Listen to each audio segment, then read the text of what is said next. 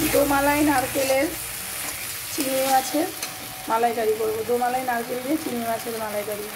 তার জন্য নিয়ে নিয়েছি যে চিংড়ি মাছ, কুচু চিংড়ি। এখানে আছে সর্ষে বাটা। আর এখানে দোমালাই নারকেল পেস্ট করেছি। তার সাথে দিয়েছিলাম পোস্ত আর টমেটো। আর আলাদা করে কাঁচা লঙ্কা বাটা দিয়েছি। হাফ চামচ, হাফ চামচের থেকেও কম গুঁড়ো লঙ্কা লঙ্কা গুঁড়ো দিয়েছি। আর ওয়ান ফোর চামচ জিরে গুঁড়ো দিয়েছি। পোস্ত বাটা দিয়েছি, এক চামচ মতো। নুন, হলুদ, সর্ষের তেল। সর্ষের তেল গরম হয়েছে তার উপরে দিয়েছি।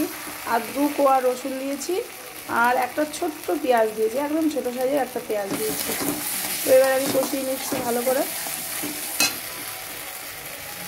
সবাই জানো আমি একটু কষাতে ভালোবাসি, তো জল দিয়ে জল দিয়ে কষিয়ে নেব মালাইটা। মানে আজকে নারকেলের দুধ দিয়ে করব না, আজকে করব নারকেল দিয়ে, কচি নারকেল দিয়ে। দেখি আজকে কেমন হয়, আশা করি ভালোই হবে। আমার দোমালাই নারকেল খুব প্রিয়, জানো তো? আর এমনি শক্ত যে ঝুনো নারকেলগুলো হয়, ওই নারকেল খেলে না অম্বল হয়, সেই জন্য আমি খাই না, খুব কম খাই অ্যাভয়েড করি আর কি। আর দোমালাই নারকেল দোমালাই নারকেলটা খেলে আমার কিছু হয় না, অম্বল হয় না। তো ওটা খাই, আর ওটা দিয়েই আজকে করছি, চিংড়ি মাছের মালাইকারি। দেখো একটু আঠা আঠা মতো হয়েছে। যেহেতু দোমালাই নারকেল পেস্ট হয়েছে পুরো। রসটা দেবো না, ওটা সিদ্ধ। আর এমনি সময় নারকেলের শুধু দুধ দিই, নারকেল দিই না। অনেকে আবার নারকেল দিয়ে করে, আমি কিন্তু দিই না। তো কষিয়ে নেব খানিকক্ষণ, দিয়ে আসছি আবার। খানিকক্ষণ পরে এলাম, দেড় থেকে দু মিনিট পরে। নুন দেওয়া হয়নি, এখন নুন দিয়ে দিলাম।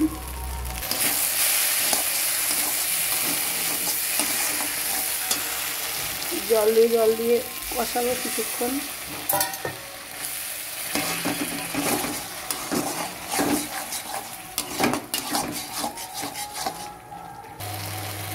আবার এলাম এক দেড় মিনিট পর। এবার এই কাঁচা মাছগুলোই দেবো। আর কাঁচ, কাঁচা মাছগুলো কষিয়ে করব। অন্য সময় ভেজে রাখি বা একটু ছাপিয়ে নিই আজকে সেরকম কিছু করব না। আজকে এই মশলার মধ্যে কষিয়ে মালাইকারিটা বানাবো। আজকে এরকম ইচ্ছা হয়েছে। তো দু, তিন মিনিট কষিয়ে নেব, তারপর আসছি। ফিরে এলাম প্রায় তিন মিনিট পর। কষানো হয়ে গেছে।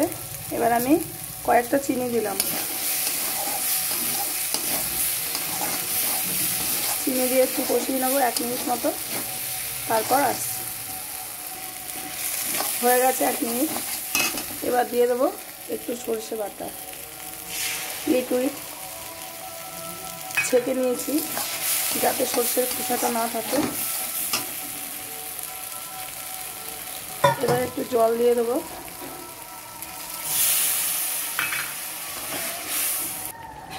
জল দেওয়া হয়ে গেছে। জল দেওয়ার পর দু মিনিট জাল দেওয়া হয়ে গেছে। আর এক দেড় মিনিট ফোটাবো, তারপর নামিয়ে ফেলব। আরও তিন মিনিট পর এলাম, হয়ে গেছে। নুন, ঝাল, মিষ্টি সব একদম পারফেক্ট হয়েছে এরকম হয়ে গেছে। একদম ফুটে, ছিটে একদম গায়ে আসছে, তার মানে বুঝবে হয়ে গেছে। খিচুড়িও দেখবি, এরকম যখন গায়ে আসবে মানে হয়ে গেছে। তো গ্যাসটা বন্ধ করে দিই। কেমন লাগল? রেসিপিটি জানাবে অবশ্যই। ভালো লাগলে একটা কমেন্টস করো। আর যারা চ্যানেলে নতুন, তারা বন্ধু হয়ে যেও, বন্ধু হয়ে বেল বাটনটা অলে সেট করে। অলে সেট করে দিও। বেল বাটনটা অলে সেট করে দিও। ভালো থেকো, সুস্থ থেকো। Tata thank you